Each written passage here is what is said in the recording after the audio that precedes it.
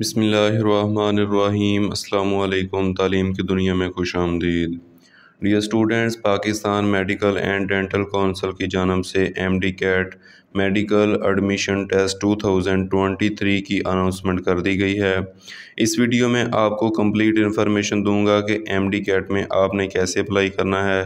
M D CAT की registration fees क्या है? M D CAT passing percentage क्या है? एम डी कैट दो हज़ार बाईस का रिज़ल्ट आया कि इस साल एडमिशन के लिए एलिजिबल होगा, वैलिड होगा या नहीं होगा? इंटरनेशनल स्टूडेंट्स के लिए वेन्यूज़ कौन कौन से हैं? इंटरनेशनल स्टूडेंट्स कैसे अप्लाई कर सकते हैं? नम्स एम डी कैट जो है वो आया के तमाम यूनिवर्सिटीज़ के लिए वैलिड होगा या सिर्फ़ NUMS M D CAT NUMS university के लिए ही वैलिड होगा। डियर स्टूडेंट्स अगर बात करें एम डी कैट की रजिस्ट्रेशन कब से स्टार्ट होगी, तमाम तर इंफॉर्मेशन इस वीडियो में हम जानेंगे तो वीडियो का आगाज़ करते हैं। डियर स्टूडेंट्स जिन स्टूडेंट्स ने एफएससी प्री मेडिकल की है, यकीनन तमाम स्टूडेंट्स जिनके मार्क्स एफएससी पार्ट वन में अच्छे हैं, वो एमबीबीएस या बीडीएस के प्रोग्राम में एडमिशन लेने के ख्वाहिशमंद होंगे। डियर स्टूडेंट्स अगर एमडी कैट की रजिस्ट्रेशन फ़ीस की बात करें तो पिछले साल आपकी जो एम डी कैट की फ़ीस थी, वो सिक्स थाउज़ेंड थी। इस साल भी सिक्स थाउज़ेंड ही आपकी एम डी कैट की रजिस्ट्रेशन फ़ीस है। डियर स्टूडेंट्स ये जो फ़ीस है, ये आपको पे करना लाजमी होगा और अगर आप ये पे करेंगे, उसके बाद आप अगर एम बी बी एस या बी डी एस में एडमिशन नहीं लेते या आप एम डी कैट नहीं देते तो आपको ये फ़ीस वापस नहीं की जाएगी। Dear students M B B S और बी डी एस में तमाम स्टूडेंट्स ऐसे एलिजिबल होंगे एम बी बी एस के लिए fifty five percent minimum marks require हैं और बी डी एस के लिए fifty percent marks minimum require हैं एम डी कैट को पास करने के लिए।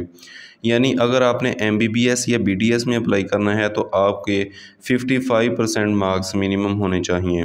ये स्टूडेंट्स अगर बात करें, अगर आपने पिछले साल एम डी कैट दिया है दो हज़ार बाईस में, और आप ये चाहते हैं कि मुझे इस साल एम डी कैट ना देना पड़े, मैं पिछले साल वाले एम डी कैट की बेस पे किसी अच्छे इदारे में अप्लाई कर लूँ तो ऐसा नहीं होगा।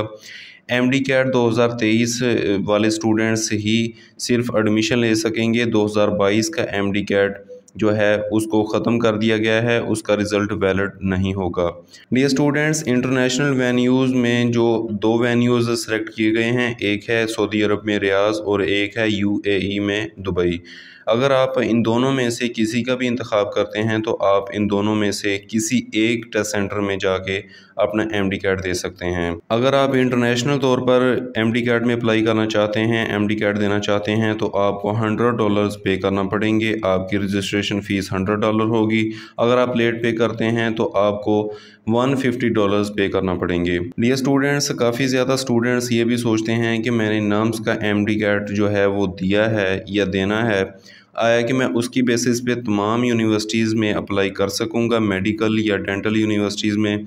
नम्स एम डी कैट सिर्फ़ नम्स के affiliated medical and dental college के लिए अप्लीकेबल होगा, ना कि तमाम मेडिकल यूनिवर्सिटीज़ के लिए। डियर स्टूडेंट्स अगर रजिस्ट्रेशन की बात करें तो ऑनलाइन पोर्टल पर पीएमडीसी के एडमिशन पोर्टल पर आपकी जो एम डी कैट की रजिस्ट्रेशन है वो 17 से 31 जुलाई तक जारी रहेगी। आपको लाजमी से अप्लाई करना चाहिए। डी स्टूडेंट्स जब आप अप्लाई करेंगे तो आपको first year FSc pre medical की जो डीएमसी है वो अपलोड करना लाजमी होगी ऑनलाइन एडमिशन पोर्टल पर। यानी आपको कोई भी और डॉक्यूमेंट नहीं चाहिए, सिर्फ़ आपको फ़र्स्ट ईयर की डीएमसी चाहिए। डियर स्टूडेंट्स ये थी तमाम तर इन्फॉर्मेशन अगर आपको एम डी कैट का सिलेबस चाहिए तो मेरे चैनल पर वीडियो की सूरत में तमाम इन्फॉर्मेशन एम डी कैट के रिलेटेड मौजूद हैं। आप जाके वॉच कर सकते हैं। उम्मीद है ये वीडियो आपको अच्छी लगी होगी, पसंद आई होगी। अगर आप एम डी कैट या और एंट्री टेस्ट के मतलब इन्फॉर्मेशन चाहते हैं तो तलीम के दुनिया चैनल को सब्सक्राइब कर सकते हैं।